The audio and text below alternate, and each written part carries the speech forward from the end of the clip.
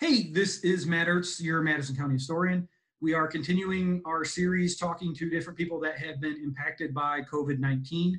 We're really lucky today to have the Village of Mayor, uh, Village of Hamilton Mayor uh, RuthAnn Loveless with us today. Uh, RuthAnn, thanks for joining us. You can give us a little bit of a unique perspective. You've actually had and recovered from COVID 19. Could you talk a little bit about what having it was like? Yes. Uh, yeah, Matt, I, I'm happy to. Um, I do want to say, uh, before I begin talking specifically about that, is that I felt it was really, really important uh, to be very open about the fact that I had contracted it. And we sent out a um, uh, an announcement actually on the 23rd of March saying that I had been tested and I had been um, in close proximity to someone who did indeed have it. And uh, we wanted the village to know that. At the same time, the Madison County Health Department put all of my um, direct reports, not, not the direct reports because they don't all report directly to me, but all my department heads who I had had a meeting with shortly before that uh, in quarantine in a sense. They were to stay quarantined for two weeks. Um, on the 25th, my test results came back and I was positive. And at that point, we had to really ramp things up in the village a little more seriously about how to proceed. And I was scared to death that someone else uh, would contract it, you know, because of me, and uh, was very worried about that. The good news is no one did. But we took a lot of precautions that I'll talk about in a minute. Um, quite frankly, it was brutal you know, I was looking back at our first announcements that we made, and it said, luckily, my symptoms were uh, not severe. They became very severe. I had uh, I had probably a week to ten days that I literally could not function. I couldn't read an email. I couldn't watch a TV program. Uh, I could do nothing. So, needless to say, my involvement with the village at that time was limited or non-existent. Uh, Jim Stokes, who is our lawyer and mm-hmm. also does administrative duties, he did, he called me every day. Uh, I was able to chat briefly with him. I take my hat off to him and praise him immensely. He kept everything running. One of the things that we did, uh, as I said, the department heads have been quarantined, but we're a small village, so we have small teams of workers the the worst thing that could happen for us as a village is, is if someone got it in the DPW and then all of a sudden everyone got it you know and we could provide no services. So we started a two week furlough program and we did this with our electric we did it with the DPW on a limited basis with our wastewater treatment plant workers. Um, and we said half are on furlough for two weeks the other half are working and then you alternate that so that you always had half of the staffs that in a sense you hoped were safe because they weren't contracting it from anyone else you know who was working. Um, the village I, I can't tell you how lucky i am in terms of the staff here. They all stepped up. Um, our village office closed but those who work in the village office worked at home. They kept everything going. Um, they took the whole quarantine thing very seriously, which was incredibly important. But I feel like the village almost didn't miss a step. Now, a couple of things. Um, people, any mail that comes in, uh, we now have someone who's usually working in the village office, even though it's closed, but they can do it at safe distancing. Any mail that comes in is sprayed and it's uh, disinfected. It's not looked at for 24 hours. Uh, people, when any of us come in, we take our shoes off, we have masks on, uh, we stay away from one another. Uh, a lot of very safe precautions are taken. The experience I had was terrible. And I know that there are so many people out there who had it worse than I had it. I never needed a ventilator. And I can't even imagine putting on top of all the symptoms that I had, uh, the ability not to breathe, to be able to not breathe. I, it, it, it's inconceivable to me how anyone can survive that. And, you know, my message to everyone is This is very serious. You can't take it lightly. We have to do everything we can to curtail the spread and to keep people safe. And um, the messages that we sent out to the community, I always tried to have that as part of the message because I wanted to be an example to say, look, I lived it. I know what it's like, and you don't want to have to go through it. So the incredible thing is, my husband did not test positive. And uh, I had to be in complete isolation on the second floor of my house for two weeks. So I was completely by myself. And uh, I did have someone, he's older, I did have someone coming in helping him with some things who would sort of leave me some food at the top of the stairs. But I was so sick, I barely wanted anything for most of that time. I have completely recovered. I feel like I am the luckiest person in the world. And I just went up to the uh, Upstate Research Center and they've tested my blood and I am completely free and clear because I'm hoping now, and they said that I can, give plasma to help others who are suffering through it. That's awesome. Um, first of all, we're so glad that you're healthy again. You Thank you. talked about the response of the village. How did the communication work? If you're ill and you, you referenced Jim Stokes, so people are talking on the phone through stuff like this, Skype, or, or, or Zoom or whatever. And, and the village is more or less running operationally from outside the office with everybody just kind of working together? Yes, and Jim is the one who uh, was in touch with everybody, coordinating all the efforts, sort, sort of um, outlining what needed to be done. We have wonderful department heads. They're all very experienced. They knew how to pick up the pieces and sort of run with it. I think most people in the village, even though they they expected to have either slower or lesser services during this time, uh, very understanding of it. And I think, quite frankly, everyone was surprised that there was not a lot of change you know we provide a lot of services for our residents and we're very proud of that. And we always get compliments and thank yous for that. And again i think that all of our staff really stepped up and did the best they could and kept things moving in a good way. But jim really took over as the leader of the pack in a sense. Uh, he was in touch with everyone daily and making sure that things were proceeding as they should as I said, he would call me uh, daily.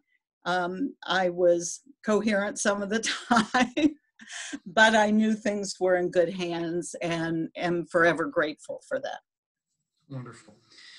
Talk a little bit about the village itself and how the communities rallied because we all know that, that business are, businesses are closed and struggling. We know that families are struggling. We know that everybody's kind of looking for daycare and help with, with their kids and their students. Um, you know, everyone right now is, is, is, is having a hard time. Talk a little bit about what you've seen in, in the village and how it's rallied. Yeah, you know, for the first couple of weeks, I was completely out of it, and I had no uh, no really indication of what was happening. Although I have to say, people were incredible to me in terms of reaching out, having concern, uh, dropping food by. I mean, a lot of things like that. It it really uh, warmed my heart. I'm going to start to cry, but was you know the the care of the people and my family is what got me through but um, i think people in town for the most part have taken this very seriously you know now that i'm allowed to sit on my porch i can even take a walk by myself with a mask you know and and mm-hmm. so, social distancing you see very you don't see a lot of people out but you see family units out so it's the people who are living together who mm-hmm. take a walk together, you know, and uh, they need to get out, they need to move around. Um, I there are always those who um, abuse something, but I think that 90% uh, of the village really take it very, very seriously. I am very concerned about our downtown, about our restaurants, about our retail uh, establishments. You know, uh, a small town like ours is dependent on the students from Colgate as well as uh, visitors. We have thousands of visitors every year because of Colgate, and that's what keeps them going. The fact that they are closed and having no revenue is um, a, a real concern. And my fingers are crossed that we can somehow help to make things um, uh, revive you know when that time comes i i'm guessing that paul when you were talking with paul mcloughlin mm-hmm. He may have told you a couple things colgate has done which i think is quite remarkable. Yeah, Any, yeah so I, I, don't need to to rehash that. But uh, you know the pcd uh, the partnership for community development now has a pot of money that actually was donated by colgate parents uh, to help the downtown and they are going to be providing small business grants um, I don't know how much is in that, but I think anything that we have that we can um, help these businesses, we need to do. We need to try to be very, very proactive. It's a concern. It's a concern. Their livelihood is a concern even under the best of times. Right. I mean, and that's that's that's across the Hamilton, Madison County, across absolutely everyone is, is absolutely is, is struggling. Yeah. Talk a little bit about in terms of the village government. You guys have obviously had some successes. We talked to everybody about talk about what you've been really proud of and happy with, and talk about things you go that you're learning from this and going, okay, we have to find a way to make this better in the long run? Yeah. Um, I'm, as I said before, this is going to be a duplication, but I'm just so proud of how everyone stepped up, and there is almost no um, decrease in services. People are making things happen. We do notice, I mean, there are just stupid things that we do, like you know we we hand fold and stuff envelopes for all of our utilities i mean that is ridiculous you know we of course now are buying a machine that yeah. you know might do that we had a little bit of luxury of time before but we have zero luxury of time now and we actually are so busy under any circumstances we shouldn't be doing something as stupid as that and something as outdated as that you know i think all of our um, this is budget time for us. We we have just approved our budget because our fiscal year is July one. Um, you know, everyone is bare bones in terms of what they requested, what they need, uh, what they hope for. We uh, we have to look at things uh, very critically. Um, our tax rate, our increase is under two percent, so we're under the tax cut cap. Uh, but you know, based on previous contracts, our raises are two and a half percent. So you do the math, you can tell from that that we are really on a shoestring budget. But I think it's remarkable what we get done. But I think this process has helped us look at processes. Yeah. You know, and how we might be able to streamline things or do things a little more efficiently because we have to. That's the only reason we're able to keep keep all of our services going. One last thing. Thank you again for taking the time. What do you just want to say to the, the people in the village, to the people in the town, and the people in Madison County coming out, having it, and, and being mayor? Right. Um, uh, first of all, I want to thank everyone in the village. I know that people in the village are doing what they can, for example, to help restaurants by buying things as takeout, uh, trying to support some of the businesses that are able to do that. And I want to thank uh, the residents because that has been critically important. I do want to say that this is something that we have to take, as I said before, very seriously. And I urge everyone in the county, in the town, in the village to continue with safe practices as much as possible. And uh, it's very, very hard. And we all want to get back to whatever a normal is or a new normal. But I can't think of anything worse than opening everything up and having such a spike in the virus that we have to start all over. I mean, that would be so depressing if you thought that rather than being close to being um, in a good place, we regress and are back at square one. Right. So to me, that is my greatest fear is that we would have to start over. We all want to get through this as soon as possible, but I urge everyone to do it rationally and in a very safe way. Thank you for taking the time to talk to us today. Thank you for uh, being part of this. And we're so glad that you're healthy, healthy again. Hopefully we get to see you soon out in the park, maybe at the farmer's market. Right. Um, We will, on, of course. And I will say that, uh, you know, the farmers markets are allowed. Yep. Uh, we will be opening ours next Saturday, not tomorrow, but the next Saturday. okay, Uh, only food items are permitted. So no crafters. Uh, we will have half the number because of that. We will be able to spread out the booths and hopefully we can have a pattern of walking that makes it as safe as possible. But obviously, if this is something that people don't take seriously and abuse it, we would have to close it down. And I'm praying we don't have to do that. and I want to make sure because we're recording these. We're recording Oh, right. Friday, May 1st. So when she says it's open, It's May 9th. May 9th. Saturday, May 9th. 9th. That's All right. right. Thank you again. Please be safe, and we hope to see you soon. Thanks, Matt, very, very much. Bye. Bye.